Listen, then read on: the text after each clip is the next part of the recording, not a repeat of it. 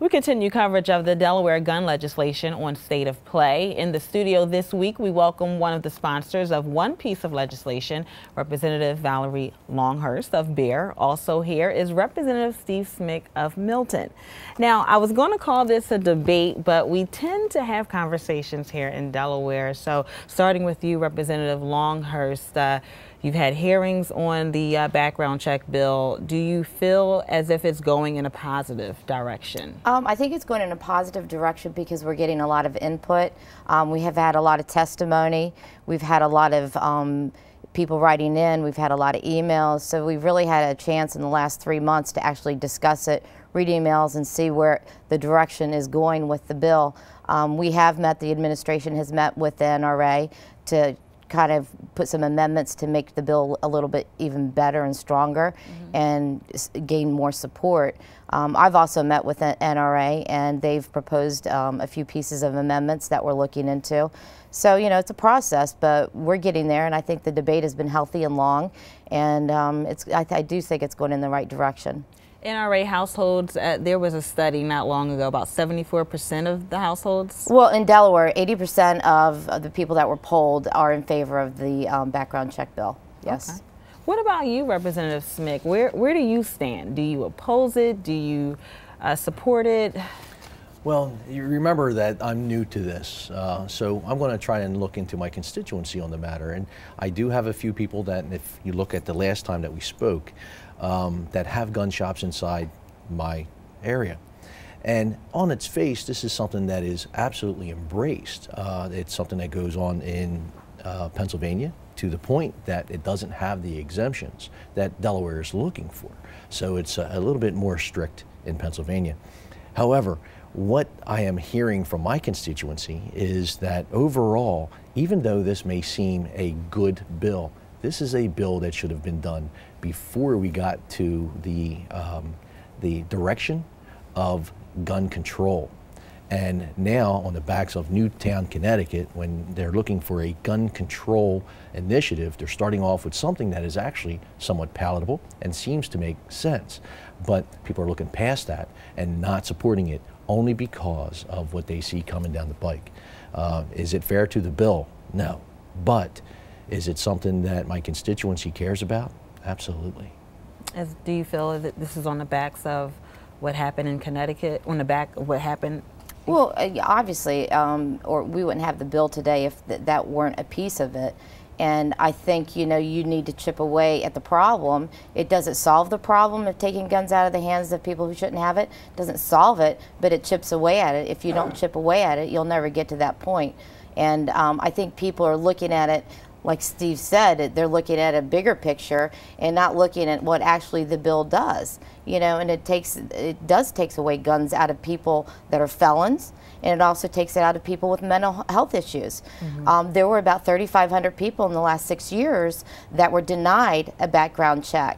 Now those people can find other alternatives. Of that 3,500, 10% had mental health problems. We don't know who those people are unless they go for the background check. Now what you're saying is that they can go from um, a, a, dealer to a private sale and that 10%, well that would be you know 30, 40 people in Delaware that have that opportunity to get that gun that have mental health issues. That's a serious issue. The, the, the boy in, um, in the Sandy Hook uh, scenario, he had a mental health issue.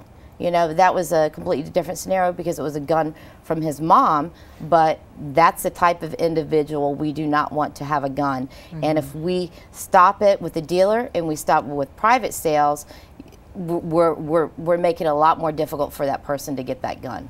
And yeah. I think it's, I think it's a way to go. And then we've had that conversation. You actually, you're concerned about the mental health part of it too.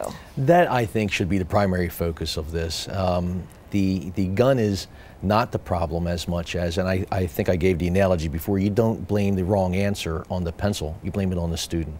And the, uh, the gun itself isn't something that is the danger, it's that person behind it. Right. So um, mm -hmm. the representative is absolutely correct in saying that these are, and this is an issue the yeah. mental health system. However, we have to also remember that where are we getting this information? What is actually flagging this person from that mental health issue? And it's currently only the state systems that are inputting this. So you're looking at the health and social services to input this, and you have to actually be arrested. Uh, th- that point of arrest is a flag that says if you've been committed to a mental institution for being a danger to yourself or others, then you will never have a gun again. But where we find problems with this is that those are the extremes. There are dangers in our society of people that actually just need help in that point of their life. Would they need to have a gun then? No. But it doesn't mean that they won't get better, that that mental health issue may be overcome. When that occurs, that's when we should be able to unflag this person. And we don't have any system set up for that. Currently, our um, health industry that's in the private industry has very little say on what they can do to help us with this. What do you think about Senator Lavelle's seller uh, beware bill that he recently proposed? You know, I'm, I can not comment on that because I haven't really looked at it. Okay. I haven't read it. But you've, you've. I'd be more than happy to comment on it. Yes.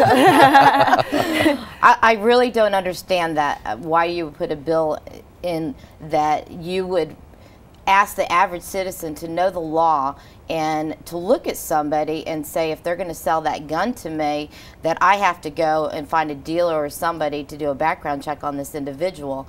I don't know and then make it a felon if they don't do that. I don't know how you do that. You and the other problem with is that you know you don't know if a family member has a, has a mental illness or has been convicted of something. It, it just doesn't make sense to me. But you know, we're every legislator has different opinions down there, and I think the background check bill in this direction is, is far more secure than doing something in that area. Okay. So not really an upstate, downstate battle, even though we've seen gun purchases increase uh, pretty much since we've started to talk about gun yeah, control. everybody's afraid. When they're afraid, they go out and purchase more. So the dealers, I'm sure, are very happy with that. And I know they can't keep the guns off the, uh, uh yeah. you know, in stock.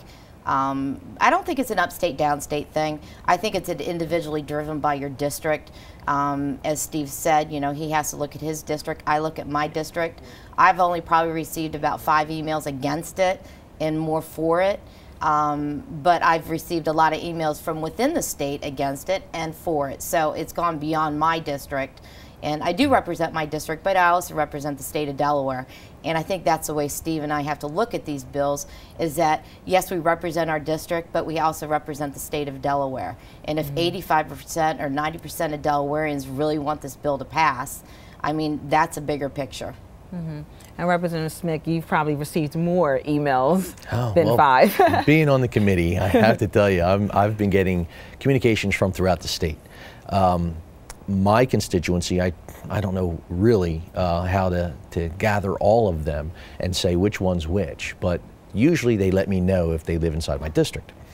I find that if you're going to look at and um, analyze the information that's coming in, the person that is against the, the, uh, this bill, which is you know my friend's bill. I mean, I, I would love to be able to support this, but what they're afraid of is the the opportunity of a government to actually hold on to and find out where these guns are. They don't want their guns registered unless, of course, it is of high value and they want to be able to bring it you know, back if it's ever stolen. But there's a uh, expectation of privacy in owning that gun. They're afraid that when you uh, uh, buy this gun from someone, from your neighbor, that the background check goes to the seller and the buyer, and then the gun, of course, yes. is identified. Those are the things that they're afraid of. Is a uh, involuntary um, registration of, of these guns. The person that's contacting me seems to have read the bill and is familiar with what they don't like about the bill. And they seem to be individuals. The people that are for the bill seem to be coming in mass. And I had a guy that called me uh, not too long ago, and he says, "Listen, I just want to let you know, uh, Representative Smith, I live inside your district. The um, I want to advise you." To vote for this bill. I said, Great. I have to tell you, I don't get many of your phone calls. Why don't you tell me what you like about the bill? And he couldn't do it. He says, Well, uh, I haven't read it. I don't know anything about it. So I explained. I said, Well, this is what it does, and it's really not a bad idea. What do you think of this? He says, Oh, no, I don't want you to support that at all. I, so after our conversation, I was able to find that he is registered as a Democrat, and it's a Democrat group that called him, told his wife, have, you know, make this phone call to Steve. And he did that, and now he is not for the bill. I'm amazed that that, that well, would occur. some of the problems that you have is that people out in the public don't really read that bill. Mm-hmm. You know, and, and I have people that call me and say, you know, it's you're going to charge fifty dollars for a background check, and the the piece of legislation says up to fifty dollars. So there's a lot of misconception around this bill completely because, and and when I listen to testimony, you know, people only are reading what they want to read. And it's difficult to read a piece of legislation and to understand it. And as we try to break it down, you do find some people will peel away and some people will add to it. I find more people adding to it once they understand it. And you know, you, you you know, one of the biggest arguments is that I'm a law abiding citizen. Why do I have to do that? Well, not mm-hmm. everybody is a law abiding citizen okay? Mm-hmm. and and that's why we put laws into place. We do you know you could talk about speeding. You know we put a speeding law in there so that people don't speed and i'm sure you're aware of this because you're a, a, you're a cop is that you put that law in it there's going to be law-abiding citizens and there aren't going to be law-abiding citizens. But for the most part you make it safe on the roads for people to follow a speed limit so that nobody is hurt or injured and you do have those people that get arrested and that get the ticket. It's the same way with the gun bill and making sure that we are doing background checks. It's just another avenue. The law abiding citizens are fine. You know, this isn't going to affect you at all, but it will affect the felons and the people with mental health issues, and those are the people we want to capture. Well, we definitely have to have you two in another time. And so uh, hopefully we can talk about the uh, ban on large magazines. Well, if, whether or not the large magazines uh, bill will, the, to ban large magazines will actually uh, pass through. So one thing for certain, you can be sure as the gun debate continues in Dover, Newsworks and First will be there to cover it on WHYY. Thank you so much, Representative Valerie Longhurst and Steve Smyk for being here. Hopefully you can join us again on State of Play.